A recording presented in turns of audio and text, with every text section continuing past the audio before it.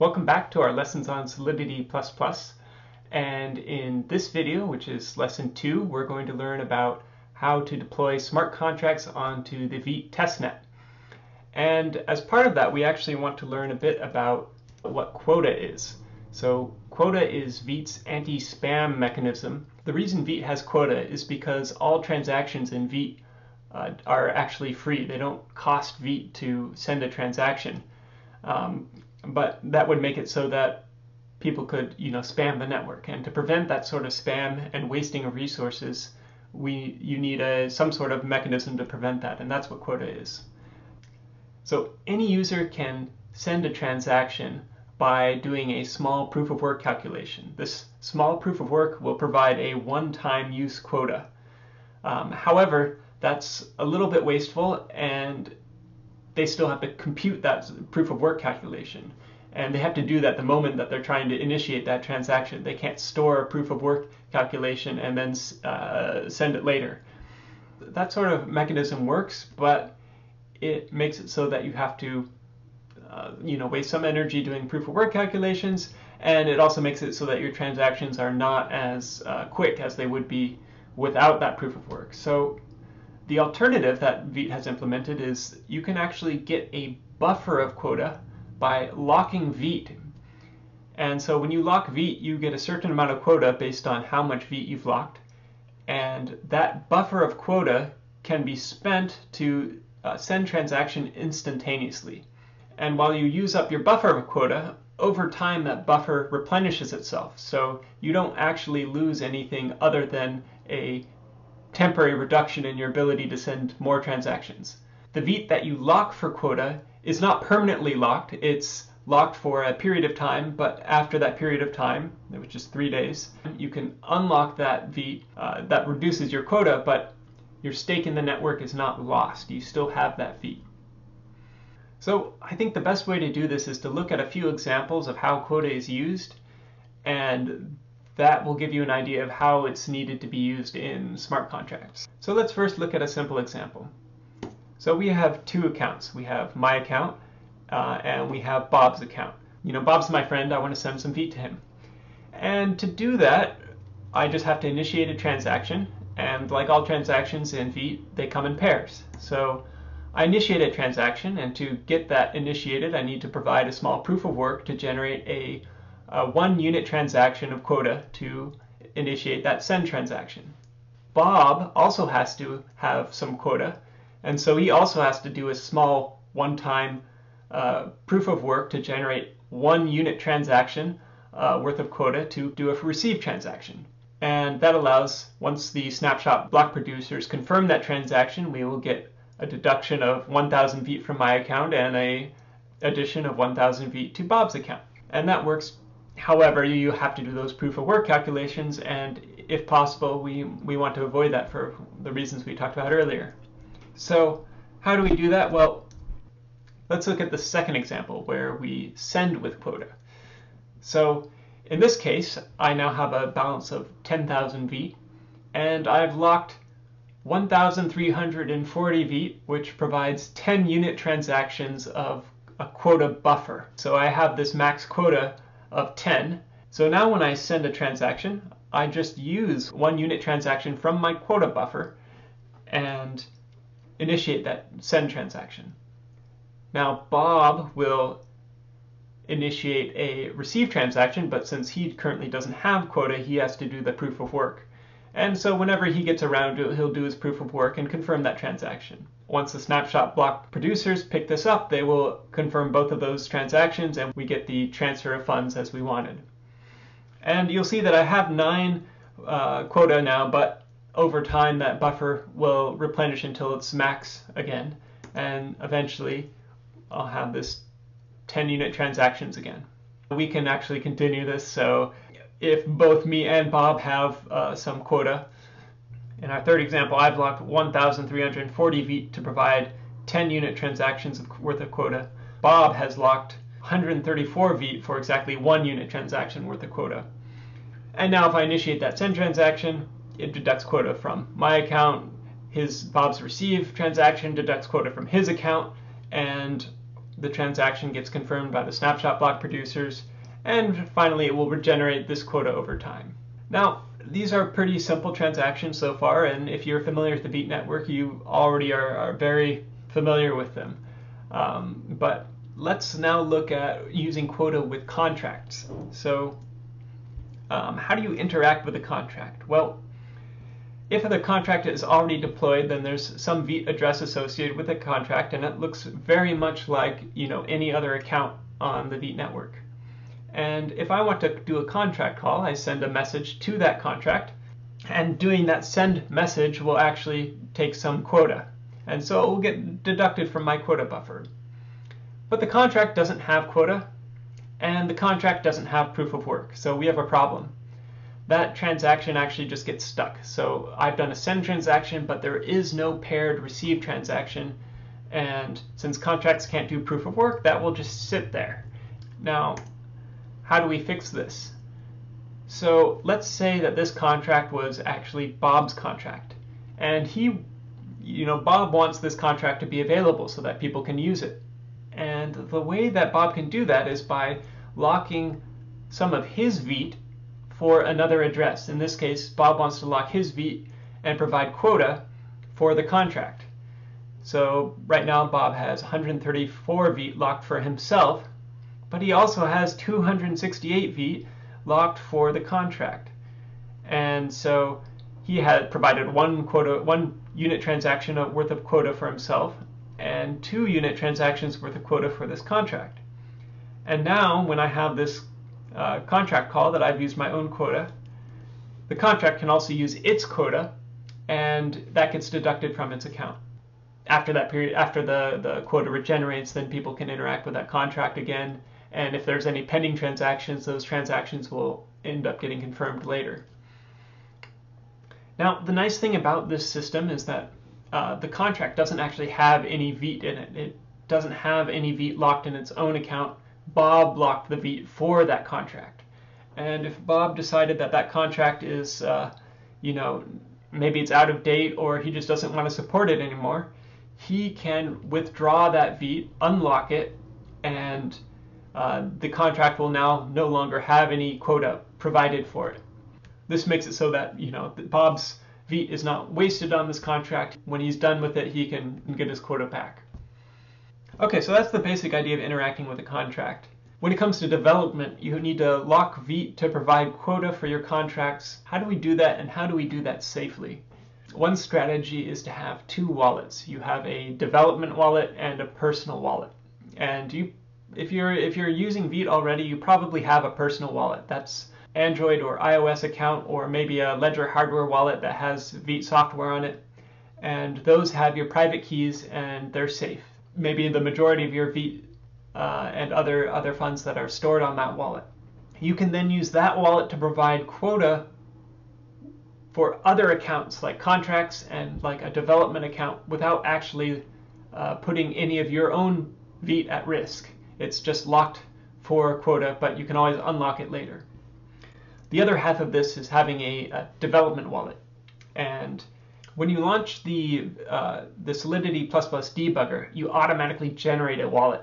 And that's the development wallet that I'm considering right here. And since these keys are stored in plain text and just available on your computer, you don't want to store a large amount of Vite on those wallets. Finally, since the development wallet is probably what you're going to be using to deploy contracts, you may need to send it a small balance of Vite, but just give it 10 Vite or so to deploy a contract. Don't give it you know, don't give it a significant fraction of your funds in case that wallet gets compromised. So this is our Hello World program from lesson one, and we want to deploy this onto the testnet. The first thing we want to do is to get our personal wallet set up and have it acquire some test Vite. Then we can send a small amount of test Vite to our debug wallet, our developer wallet, and have our developer wallet deploy a contract. Then we can use our personal wallet again to lock some Vite for quota and provide that quota to both our contract and to our developer wallet. So let's get started. First, we're going to open up our debugger. And now we can go into the settings menu and let's, I'm just going to create a new mnemonic and save it so that we have a fresh, clean slate. And now if we go back to our debug menu, we can see that we have, you know, we have a new address. Now, and if we check our testnet, we can see that we currently don't have any balance here. So our debug wallet is good to go. Now we just need to set up our personal wallet. To do that, you're going to want to open up your Vite app on your mobile device. So you should already have the Vite app downloaded. So open that now. And we're just going to create a brand new account. If you already have an account, you should open that. So I'm creating an account. I'm going to call it personal. And my password will be test test. Test test again. And you can see that's my password and you should read through the terms and conditions. And I'm going to create a wallet now. Now, since I'm just using this for testing, I'm not backing up my seed phrase, but you should absolutely back up your seed phrase when you create an account.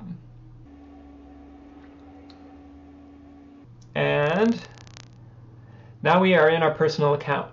So now that I have this, I want to show you how to get it operational on the DevNet. So the first thing you want to do is open up the settings and go to the node settings. And in here you'll see that there's node settings for the Vite network. Add custom node and type in https colon slash slash B-U-I-D-L and make sure that you don't autocorrect it. It's spelled buildle, we're buildling dot vite dot net slash gvite slash http and then hit confirm and select that as your network.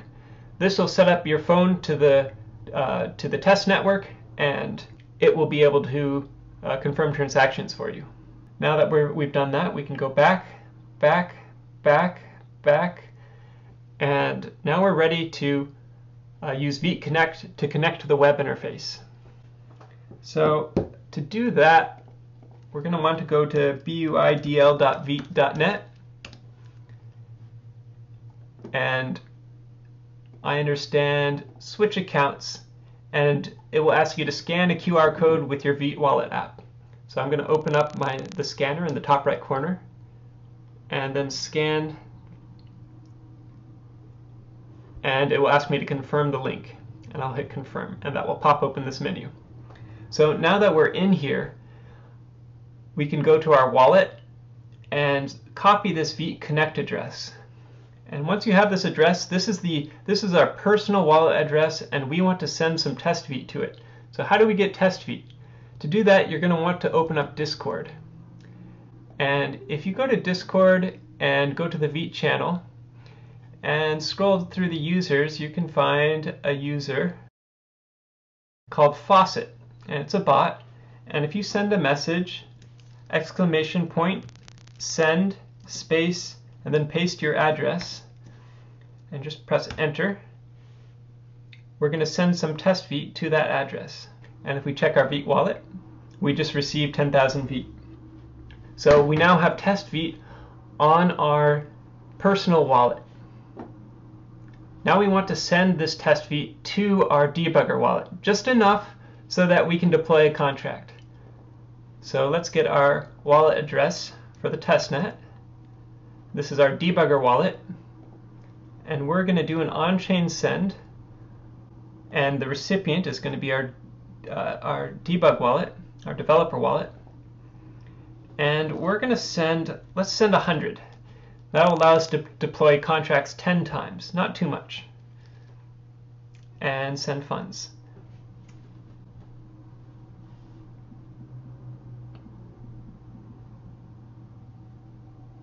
Let's just run POW, proof of work.